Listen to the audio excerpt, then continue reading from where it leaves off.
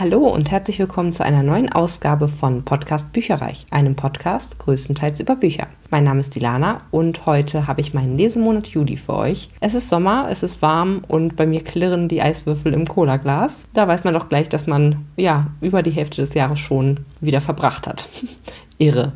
So, und zwar habe ich richtig viele Bücher diesen Monat gelesen, wie ich finde. Ich bin wahnsinnig stolz. Es sind fünf normale Bücher, drei Hörbücher, wobei das Hörbuch quasi habe ich auch als Buch und noch als E-Book äh, auf dem Stapel ungelesener Bücher gehabt und deswegen ist auf dem Bild beispielsweise auch äh, ja, das Buch dann abgebildet etc. pp. Aber wir fangen erstmal an mit dem Monatsmotto. Ich habe mir das Monatsmotto gesetzt, We Are Family, also Familienromane, Familiengeschichten irgendwie in die Richtung. Wenn ihr Lust habt, stoppt diese Episode und hört euch nochmal die letzte Episode an. Das war quasi ein Reinlesen in neun verschiedene Bücher, die ungefähr so in meiner Meinung nach in Richtung Familienroman irgendwie reinfielen, äh, also auf das Motto passten.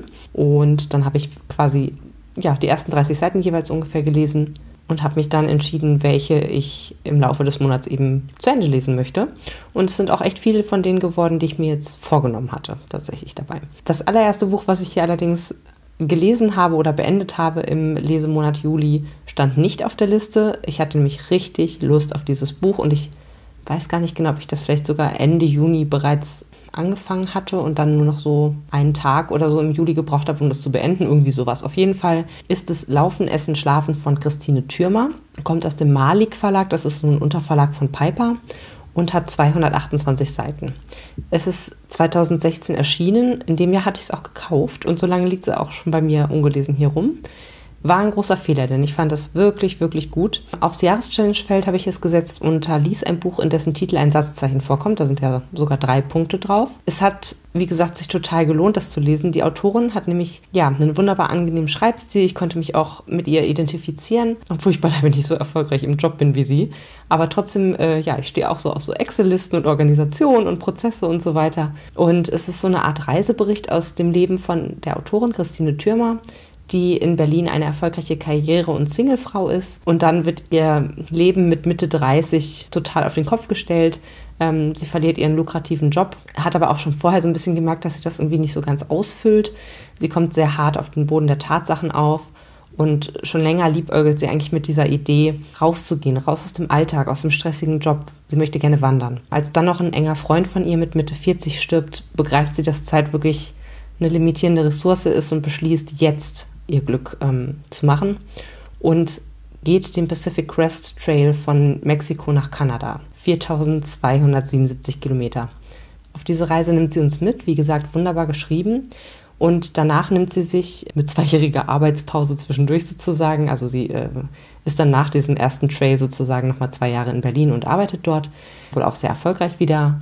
Und danach muss sie aber wieder raus. Sie spürt wieder diesen Drang. Sie möchte eigentlich wandern, sie möchte draußen sein, sie möchte ihre, ihr Leben einfach anders verbringen als immer nur im Büro und Hektik und Stress und äh, Firmenthemen, die schlussendlich nicht sie selbst betreffen. Und deswegen beschließt sie einfach mal den Continental Divide Trail und den Appalachian Trail auch noch mit dran zu hängen und wandert quasi ja, alle drei großen amerikanischen Trails innerhalb weniger Jahre. Insgesamt sind das 12.700 Kilometer. Und ja, sie nimmt uns in diesem Buch auf alle drei Wanderungen mit, erzählt ziemlich nahbar und auch amüsant und interessant von ihren Erlebnissen. Für mich war es eine gute Mischung aus so persönlichen Erkenntnissen, Naturschilderungen und Geschichten über die anderen Thru-Hiker, wie sie genannt werden, und auch so Trail Angels, die ja eben auf diesen Wegen begegnet sind. Die Trail Angels wohnen quasi entlang der Strecke und sorgen für Unterkünfte, für Essen etc. für eben diese Thru-Hiker.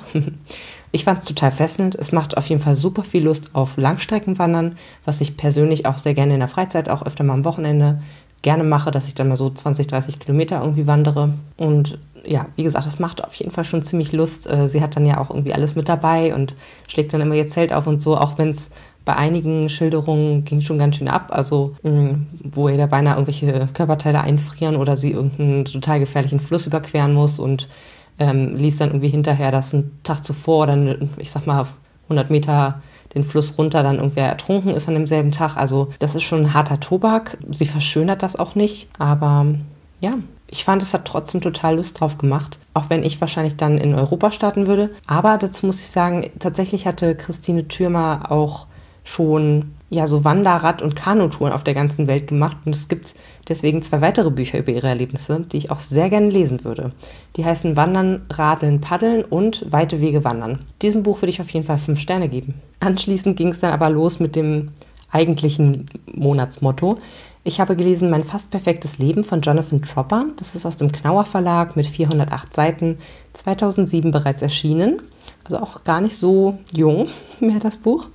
Und ich habe es auf das Jahreschallenge-Feld gelegt, lies ein Buch mit einem Adjektiv im Titel. Es geht um Doug, der mit 29 Jahren Witwer wird und wie er damit klarkommt, beziehungsweise auch wie er so gar nicht damit klarkommt.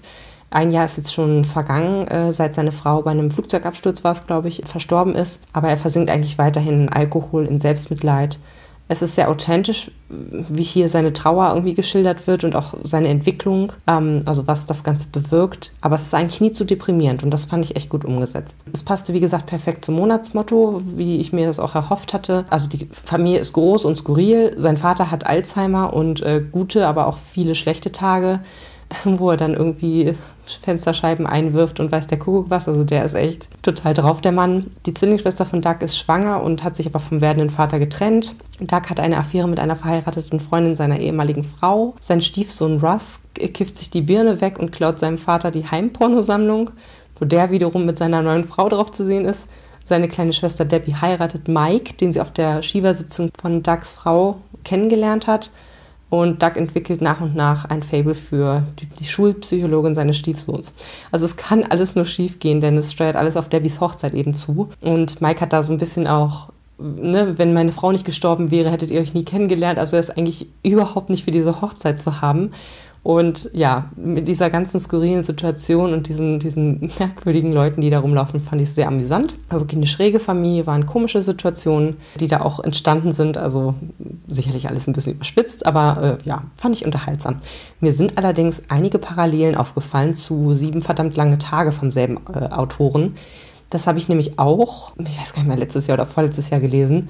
Und ich musste, ab und zu musste ich echt mal gucken, so, ist das jetzt dasselbe Buch? Ohne Witz weil da sind ein paar ja, Aspekte drin, die eben auch bei, also bei beiden Büchern vorhanden sind. Das ist einmal die Traumfrau, die quasi weg ist. Beim einen Mal ist sie gestorben, beim anderen ist sie, glaube ich, fremdgegangen, beziehungsweise hat einen neuen. Die vorlaute Schwester ist wieder mit dabei. Die jüdische Großfamilie, in Anführungsstrichen, so viele sind es auch nicht, aber halt schon ein bisschen größer als so anderthalb Kinder, sage ich jetzt mal.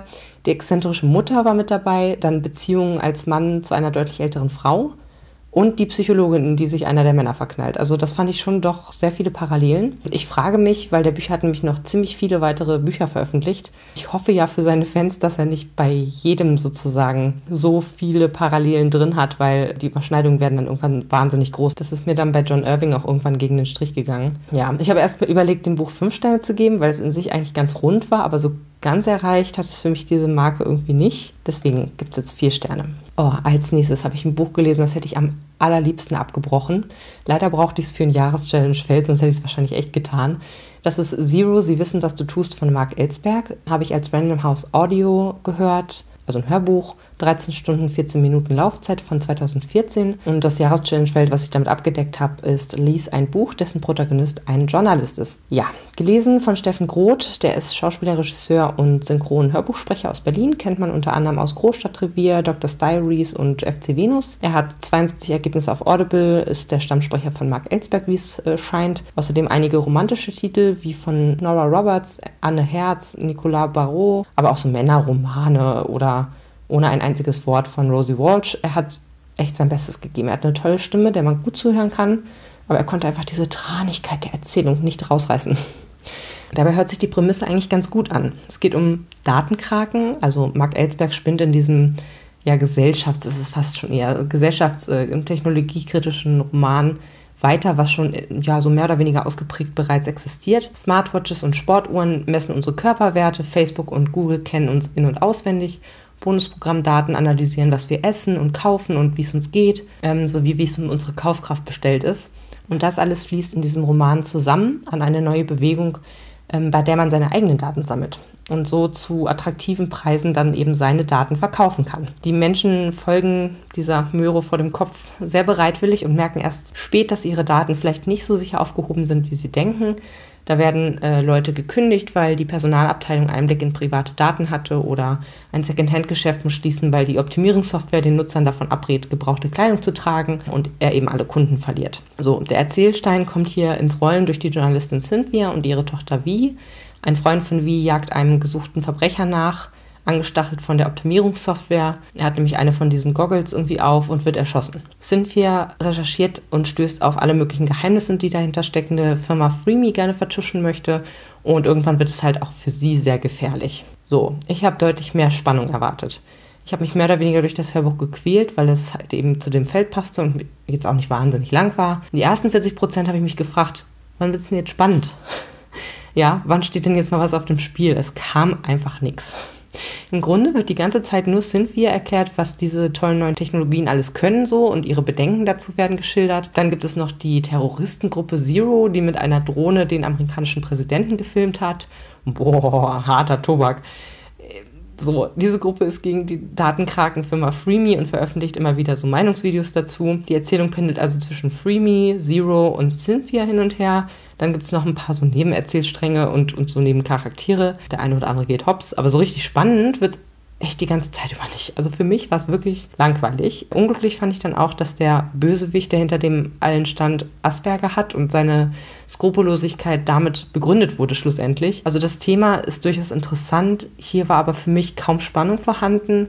Es wurde alles zu Tode zerquatscht und erklärt und das, was dann an Action kam, so ich sag mal im letzten Fünftel des Buches, das fand ich dann aber auch so ein bisschen so wie, wie so ein platter Actionfilm. Also so, weiß ich nicht, alles schon mal gehört, gesehen und so weiter. Und Ende fand ich jetzt auch nicht realistisch. Also ich gebe dem Buch wohlgemeinte zwei Sterne. Als nächstes habe ich ein englischsprachiges Buch gelesen und zwar Cassandra at the Wedding von Dorothy Baker. Das hatte ich letztes Jahr in meinem London-Urlaub gekauft von Daunt Books. Ich bin fast der Meinung nachträglich, die Buchhandlung hieß, glaube ich, auch Daunt. Also das ist scheinbar ein Eigenverlag von dieser Buchhandlungskette, was ich einen super spannenden Ansatz finde. Das gibt es, glaube ich, in Deutschland nicht. Ähm, die Erstausgabe ist 1962 erschienen. Meine ist jetzt von 2018 mit einem wunderschönen neuen Cover, wie ich finde.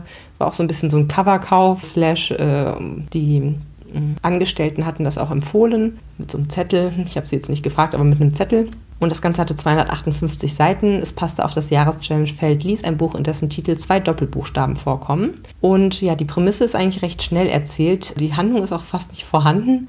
Cassandra fährt nach Hause. Ihre Zwillingsschwester will nämlich einen ihr unbekannten Mann heiraten. Die beiden haben sich so ein bisschen entzweit, seit Judith, die Zwillingsschwester, vor neun Monaten an der Juilliards in New York angenommen wurde und Cassandra in Berkeley zurückgeblieben ist und dort nun statt Schriftstellerin zu werden, auf dem besten Weg ist, Lehrerin zu werden. Im Laufe des Buchs merken wir als Leser immer mehr, dass Judith sich so ein eigenes Leben wünscht und aus dem Schatten ihrer ja, sehr speziellen Schwester ausbrechen möchte und dass Cassandra das auf gar keinen Fall möchte und äh, Judith alle möglichen Stolpersteine in den Weg legt, sowie ja auch einfach nicht wahrhaben möchte, dass Judith eigene Wünsche hat, die nicht zu ihren passen. Also mir tat Judith einfach sehr früh mega leid. Zum Glück wird aus Cassandras Perspektive erzählt. Somit versteht man besser, was sie antreibt. Also, weil sie einfach auch so fürchterliche und egoistische Dinge sagt und tut. Ich glaube, wenn das nicht gewesen wäre, hätte ich sie total gehasst irgendwie. So fand ich es aber noch, wie gesagt, nachvollziehbar ein Stück weit. Sie überrollt ihre Schwester einfach ständig, bevormundet sie total, aber eher so ein aus Einsamkeit, also sie wünscht sich einfach die Nähe zurück. Aber die beiden stellen als Beispiel jetzt mal recht früh fest, dass Cassandra sich zufällig dasselbe Kleid zur Hochzeit ausgesucht hat wie Judith als Brautkleid. Halt ein schlichtes, allerdings weißes Kleid. Und ja, es ist halt schlicht, aber wertig und ja, was passiert? Jeder, also in jeder anderen Situation wäre klar, okay, die, die Zwillingsschwester sucht sich halt noch schnell irgendwie ein anderes Kleid, was sie anziehen kann. Hier ist es tatsächlich so, Judith lenkt ein und will sich ein neues Kleid kaufen. Weil Cassandra meint, Brautkleider sollten pompöser aussehen. Ich meine, das muss man sich mal vorstellen. Also, da habe ich echt gedacht, so, was geht denn hier ab? Was ist denn das für eine, für eine Beziehungskonstellation, in der, in der ihr da versteckt? Also, ich habe total mit Judith sympathisiert, ehrlich gesagt, äh, dass die sich halt wehrt. Sie steht für sich selbst ein, das fand ich richtig gut und kämpft sich sozusagen heraus, aber Cassandra greift zu echt krassen Maßnahmen, um diese Hochzeit zu torpedieren. Also schaukelt sich so gegenseitig immer hoch und es besteht aber eigentlich größtenteils aus Konversationen miteinander. Das Buch war wirklich interessant zu lesen. Also diese Dynamik zwischen den Zwillingsschwestern fand ich sehr spannend. Einfach auch beide Seiten zu sehen und zu verstehen. Das hat mir sehr gut gefallen. Es tauscht nämlich manchmal die Erzählperspektive. Der Schreibstil selbst war ein bisschen altmodisch, ist ja kein Wunder, ist von 1962. Und es war halt eine Mischung aus sehr langen Kapiteln, also Die ersten 160 Seiten waren auf drei Kapitel aufgeteilt. Und die, die Rahmenhandlung war halt auch super langsam. Also wie gesagt, Handlung gab es kaum, es wurde halt recht viel diskutiert. Das hat dazu geführt, dass sich das Buch teilweise ziemlich gezogen hat für mich. Ja, die Unterhaltungen waren gut, der Schreibstil war grundsätzlich auch außergewöhnlich, aber ich müsste das Buch jetzt kein zweites Mal lesen. Also ich fand es jetzt nicht herausstechend gut, ehrlich gesagt. Von mir kriegt es deswegen drei Sterne. Als nächstes habe ich gelesen Silicon Wahnsinn, wie ich mal mit Schatzi auswanderte von Katja Kessler. Das ist im Ullstein Verlag erschienen, hat 448 Seiten und stammt aus dem Jahr 2014, was ich sehr gut bezeugen kann, denn dort habe ich es auch gekauft auf der Frankfurter Buchmesse, wo es quasi dem Publikum das erste Mal vorgestellt wurde. Und ich muss sagen, damit habe ich auch alle Bücher, die ich auf der Frankfurter Buchmesse 2014 gekauft habe, endlich alle gelesen. Ja. So, und ich habe das Ganze auf das Jahreschallenge-Feld gesetzt, Geschichte basiert auf wahren Ereignissen, denn es ist im Grunde auch so eine Art Reisebericht oder Tagebuch und auch eine Mischung aus Familienroman. Also es passt irgendwie, passt durchaus zu dem äh, Lesemonat. Es geht um äh, Katja Kessler und ihren Mann Kai Diekmann, der ist Gesamtherausgeber bei der Bild und der soll halt für ein Jahr in Silicon Valley, um so Techniktrends zu recherchieren, darüber zu schreiben, wie auch immer. So, seine Frau entschließt recht spontan, mit den vier Kindern mitzukommen und ab da bricht völliges Chaos aus. In der Notaufnahme werden sie zu Stammgästen, die Wohnungen kosten astronomische Mieten, die anderen Valley-Mütter scheinen alle perfekt geleckt wie aus dem Katalog und ständig kommt die Familie auf den letzten Drücker in irgendwelche Flugzeuge. Vom Papierkram ganz zu schweigen. Ähm, ich hatte da reingelesen während dieses Try a Chapter Abends und hatte äh, ja einfach Lust drauf bekommen. Ich hatte das irgendwann schon mal tatsächlich zuvor angefangen zu lesen, dachte dann so, oh, was ist das denn? Habe ich mich irgendwie voll vergriffen, ist ja super viel Text und so weiter. Und dieses Mal fand ich es aber irgendwie locker leicht und habe es auch wirklich gerne gelesen, muss ich sagen. Also ich fand das Buch an vielen Stellen amüsant. Ich musste so manches Mal schmunzeln oder richtig lachen. Ähm, es ist deutlich mehr Text, wie schon eben gerade gesagt, als die Vorgänger. Ich habe ja zwei andere Bücher von ihr gelesen. Oder drei, weiß ich gerade gar nicht. Was weiß ich, der Tag, an dem ich anfing, meinen Mann zu dressieren. Und da war es halt viel, das war auch schon so in Richtung Tagebuch, aber da war halt super viele Zeichnungen, Zitate, Bilder, Schnipsel, weiß der Kuckuck. Also es war sehr aufgebrochen, so listenartige Sachen und so sehr gestaltet von innen. Und dieses hier ist halt größtenteils Text mit ab und zu mal ein paar Bildern drin, mit jeweils noch so einer Art Datumsanzeige irgendwie oben rechts. Aber es ist schon sehr viel Text. Es ist schon, bewegt sich deutlich mehr in, in so ein ich sag mal, normaleres Buchformat. Dadurch ist es halt auch nicht so locker wie die Vorgängerbücher. Äh, war okay für mich und gut zu lesen. Äh, sicherlich kann man als emanzipierte Frau an einigen Stellen und auch am Lebensentwurf von der Vierfachmami kann man sich vielleicht stören. Also ja, irgendwie muss sie ihrem Kerl gefühlt alles hinterhertragen. Aber ist ja okay, weil er ist ein Mann und er verdient die Brötchen. Also das könnte ich mir vorstellen, dass einige irgendwie denken so, boah, das geht mir richtig auf den Nerven oder entspricht überhaupt nicht dem, was ich gut finde, so als Lebensentwurf. Ich finde, sie macht es aber immer mit einem Augenzwinkern. Also es ist sicherlich so, dass sie sich quasi um die Kinder kümmert und natürlich auch schreibt, ne? Aber also sie, sie, sie, ja, sagen wir es mal so, sie geht auch viel auf so Stereotypen ein und Mann-Frau-Beziehungen und so weiter und so fort und macht das aber, wie gesagt, so ein bisschen mit einem Augenzwinkern und dann finde ich es auch in Ordnung. Also man kann sich da ja selbst immer auch seine eigenen Gedanken zu machen. Ne? Also für die beiden funktioniert das so und dann ist das auch in Ordnung für mich so. Ich fand es einfach auch ganz spannend zu sehen, ne, so ein bisschen in Richtung, also ihr Leben entspricht ja sicher nicht dem Durchschnittsalltag von einer normalen Mutti. Sie hat halt auch ein bisschen ja, Jet Set, was kostet die Welt und so. Das fand ich auch einfach mal ganz spannend irgendwie zu sehen. Aber wie gesagt, ich kann mir auch vorstellen, dass einige Leserinnen und Leser das irgendwie nicht ganz so toll finden. Ich fand es gute Unterhaltung und würde dem Ganzen vier Sterne geben. Als nächstes habe ich endlich zu einer ziemlichen Subleiche gegriffen, die mich, glaube ich, noch lange gedanklich begleiten wird und die ich vielleicht auch in ein paar Jahren nochmal wieder lesen werde. Ich fand die richtig krass. Leider darf ich nicht so viel darüber sagen, denn das würde alles spoilern, aber ich versuche mal so ein bisschen darum zu navigieren. Ähm, und zwar rede ich von Angerichtet von Hermann Koch. Ist im Kiwi Verlag erschienen 2010 und hat 309 Seiten, also relativ schmal. Und ich habe es auf das Jahreschallenge-Feld, lies ein Buch, in dem die Liebe zu einem Bad Boy oder Bad Girl eine wichtige Rolle spielt. Vorweg gesagt, es passt wieder ganz gut zum Familienroman-Thema. Habe ich auch ausprobiert bei Try a Chapter und habe ja, hat einen guten Eindruck hinterlassen. Boah, aber das war so ein krasses Buch. Also ich hatte das nicht so kommen sehen und ich fand die Ansichten, die da drin propagiert oder zumindest gezeigt wurden, auch mega heftig. Aber ja, einmal von vorne. Also zwei Brüder treffen sich mit ihren Frauen in einem Sternerestaurant und man merkt sofort, dass die Beziehung zwischen den beiden nicht die allerbeste ist Konflikte brechen auf. Da sind die vier noch gar nicht beim eigentlichen Thema des Abends angelangt, dass ihre jeweiligen Teenager-Söhne zusammen ein Verbrechen begangen haben. Und dieses Verbrechen könnte das Leben der Jugendlichen ruinieren. Und der Ich-Erzähler ist bereit, sehr weit zu gehen, um seinen Sohn zu beschützen. Von Seite 1 an machte dieser Ich-Erzähler Paul seinen Bruder Serge runter, der wiederum gute Aussichten auf den Posten des Ministerpräsidenten der Niederlande hat und somit quasi als Berühmtheit in diesem schicken Sterne-Restaurant gilt. Und im Verlauf des Buches wird Paul immer unsympathischer und wir sehen mehr und mehr hinter seine fürsorgliche Fassade auf einen gewalttätigen, jähzornigen Mann mit krassem Gedankengut das er scheinbar an seinen Sohn weitervererbt oder gegeben hat. Und als das Geheimnis, was der Sohn und sein Cousin getan haben, mir als Leserin enthüllt wurde, war ich schwer angewidert. Noch krasser, ja, halten bei mir aber die Rechtfertigung der Eltern, also Vater und Mutter. Nicht, nicht nur der Vater, wie gesagt, sondern die Mutter war halt auch voll krass drauf. Es hat halt richtig nachgehalt. Also die haben sich alle die Tat schön geredet und, und wollen halt auf Teufel komm raus das Leben oder das künftige Leben ihres Sohnes durch Stillschweigen in Richtung Öffentlichkeit schützen. Ich fand, es hat einfach, es, es steckte keinerlei Anstand in, in ja, beinahe allen Charakteren, außer im Ansatz in dem einzigen, der wirklich etwas zu verlieren hätte, nämlich der Politikerbruder. Also der war der Einzige, der so Ansätze von, von Anstand irgendwie gezeigt hat. Alle anderen waren total, ja, von sich selbst überzeugt, rassistisch, gewalttätig. Also es war richtig, richtig krass, fand ich. Ich war ziemlich entsetzt und irgendwie angeekelt, als ich das Buch dann geschlossen habe. Also wie zivilisierte Menschen straflos so Grausames tun können und damit durchkommen und dann noch nicht mal ein schlechtes Gewissen haben. Das ist mir echt unbegreiflich. Also es hat mich sehr aufgewühlt. Ich hoffe nur, dass der Autor diese schreckliche Gesinnung des Protagonisten als ja, abschreckendes Beispiel anbringt und nicht weil es auch seine Meinung ist ne? und er diese verkappt irgendwie als Roman propagieren will.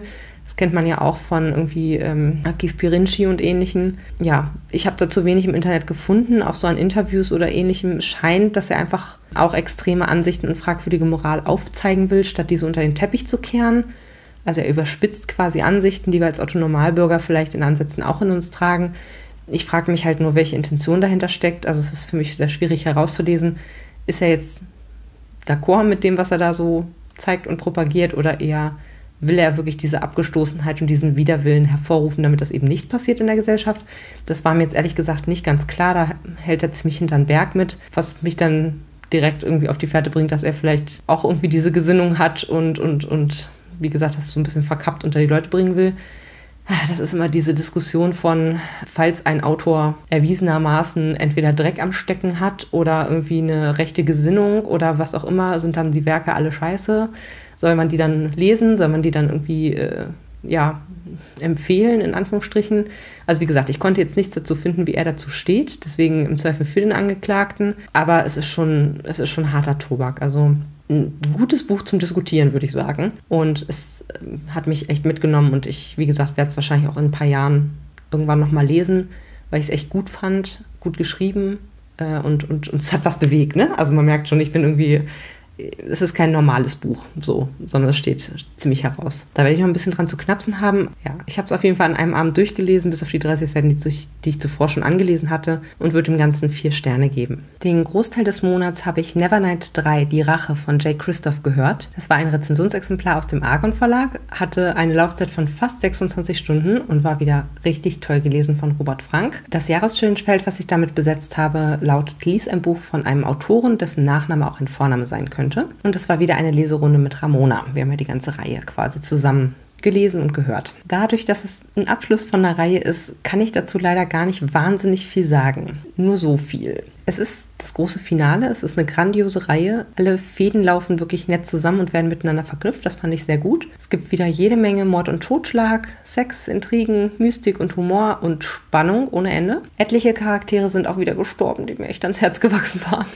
Also ich fand die Reihe Ganz, ganz toll, gerade für Fantasy-Fans. Ich finde die alle großartig, kann sie nur empfehlen. Ähm, es gab für mich zum Schluss zwei, drei kleinere Wermutstropfen. Zum Beispiel entwickelte sich die Reihe recht äh, mystisch, also mit Einfluss von Göttern aus alten Sagen, statt irdisch zu bleiben. Das ähm, ja, hat mir jetzt nicht wahnsinnig gut persönlich gefallen. Und ja, ich hätte am Ende eigentlich auch noch ewig weiterlesen können. Also es war zwar in sich abgeschlossen, aber viele der Charaktere und Erzählstränge hätten auch noch weitererzählt werden können. Waren also so semi-offen. Viel mehr möchte ich dazu, glaube ich, gar nicht sagen. Also nur ganz äh, kurz, falls du die anderen beiden Vorgänger gar nicht kennst. Es geht hier um ein junges Mädchen in einer Fantasy-Welt, die Assassinin werden möchte, damit sie die Mörder ihrer Eltern oder ihres Vaters zumindest rächen kann. Und leider sind genau diese Mörder mittlerweile an die, an die Spitze der Macht in ihrem Staat oder in ihrem Land gekommen. Also da hat sie sich ein ganz schönes Brett vorgenommen und ja, ich glaube, das war schon so ein bisschen die Zusammenfassung, sage ich jetzt mal. Sie lernt jetzt entsprechend auch noch sehr, sehr viele Leute auf dem Weg kennen. Und hier war jetzt besonders eine Bande mit dabei, die ich ganz toll fand, wo ich super gerne einen Spin-off hätte. Ähm, das war so eine Piratenbande. Großartig. Also die ist wirklich super liebevoll, wie Christoph hier seine Charaktere erstellt und formt und sie weiter, sich weiterentwickeln lässt. Also das fand ich echt super. Insgesamt würde ich diesem Band vier Sterne geben. Band 2 fand ich am besten. Der hat von mir fünf Sterne bekommen. Und hier ist nochmal ein kleiner Hörausschnitt für euch. Tja, und hier sind wir wieder, edle Freunde. Ich glaube, ich muss mich bei euch entschuldigen.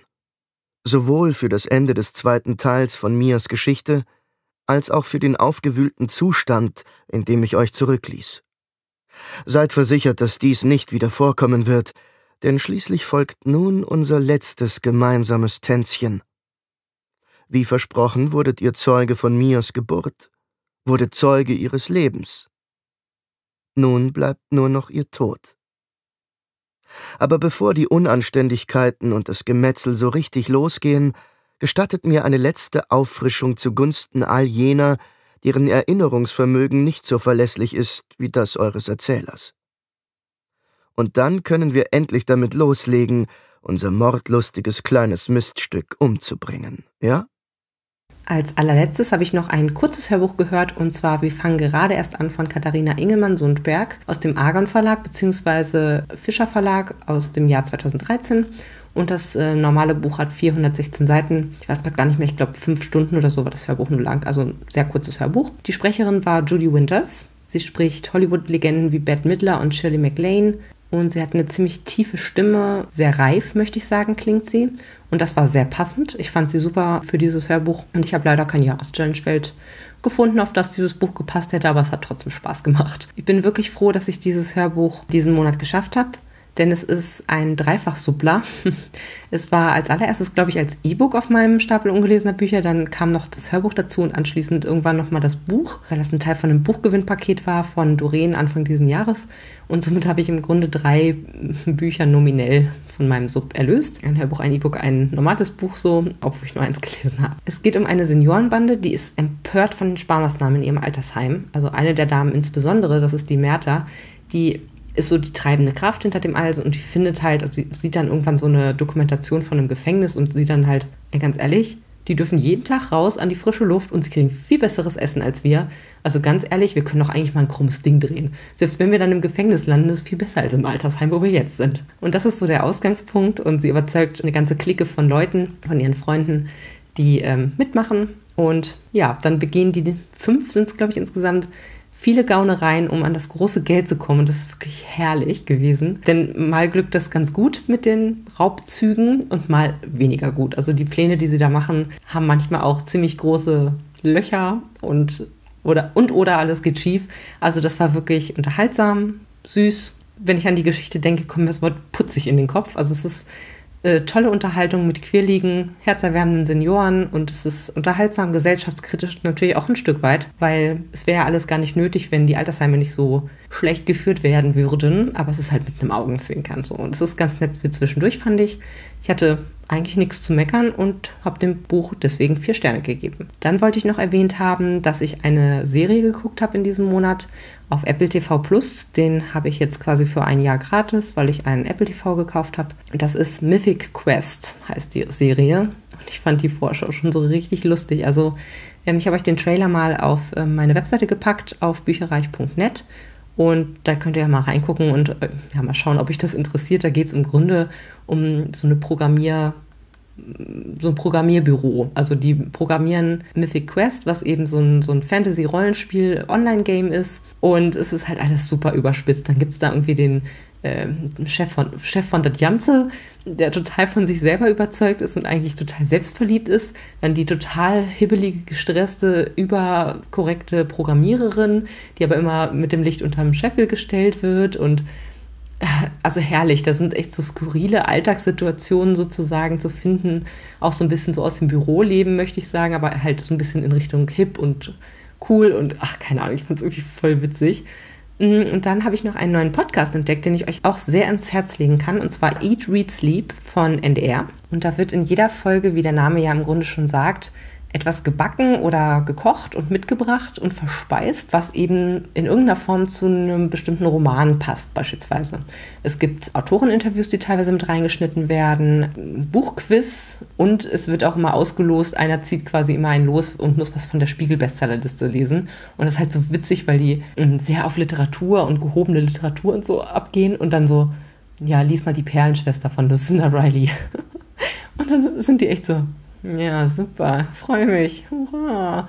Lesen es dann aber trotzdem und ähm, diskutieren dann halt auch sehr versiert darüber. Ja, also mir macht es immer total viel Spaß tatsächlich und kann ich nur empfehlen. Finde ich richtig cool. Abschließend möchtet ihr sicher noch wissen, wie meine Subhöhe aussieht und wie ich quasi, wie viel ich jetzt schon abgebaut habe. Bei den Büchern kann ich fröhlich verlauten lassen, dass ich insgesamt fünf Bücher abgebaut habe. Ich habe sechs Stück gelesen und ein Rezi-Exemplar dazu bekommen. Das heißt, der letzte Captain und ist von Arndt Rüskamp, aber das bleibt auch nicht lange auf dem Sub. Also ich habe insgesamt jetzt 59 ungelesene Bücher. Bei den Hörbüchern sind es jetzt minus drei gelesene Bücher, also es ist nichts hinzugekommen. Und deswegen bin ich von 126 auf 123 runtergekommen. Das war's von mir für heute. Bis zum nächsten Mal. Tschüss! Informationen zu allen Büchern, über die ich heute gesprochen habe, findet ihr auf meiner Website www.bücherreich.net mit UE. Ihr könnt dort oder auf Facebook unter www.facebook.de slash podcastbuicherreich in einem Wort durch mit mir in Kontakt treten. Meine E-Mail-Adresse lautet buicherreich at gmail.com. Wenn ihr diesen Podcast über iTunes abonniert habt, würde ich mich riesig freuen, wenn ihr mir eine 5-Sterne-Bewertung hinterlasst. Dies ist ein privater Buch-Podcast, in dem ich nur meine eigene private Meinung wiedergebe. Wenn mir ein Buch oder Hörbuch kostenlos zur Verfügung gestellt wird, kennzeichne ich es entsprechend auf meiner Website.